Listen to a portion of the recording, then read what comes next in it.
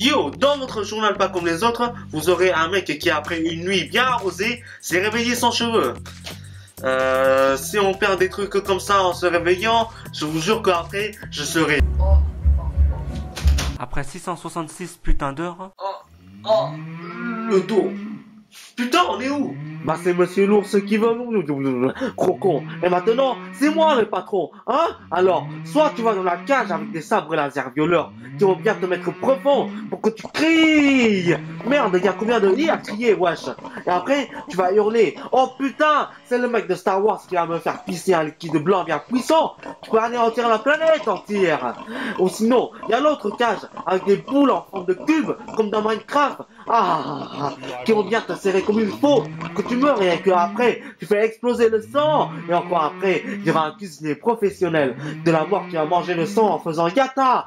Et après, il va cuisiner le sang pour qu'il mette dans tous les Big Mac du monde. Et comme ça, euh, elle est par où la sortie? Shit Elle est par là, bitch en forme de bite. Oh fuck ah, au moins, il me fera le plaisir de manger une kalachnikov remplie de drogue quand on chante.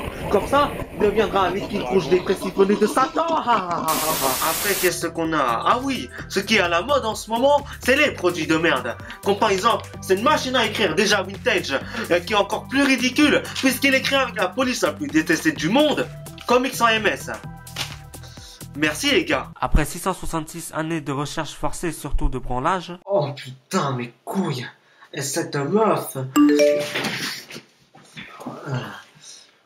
Il faut trouver une idée pour la conférence de ce soir. Euh, merde, euh, des produits sur le cul, non. Euh, des produits sur la merde, ouais. Euh, putain, euh, ils sont où les failles là Oh putain. Alors voici la plus grande idée de 2014 que nous ayons reçue à l'heure actuelle. Ça veut dire, faisons des produits de merde. Ah, comme ça se mettra plein d'or dans nos couilles vides depuis 666 années. Enfin du sperme dans nos couilles vides. Merde.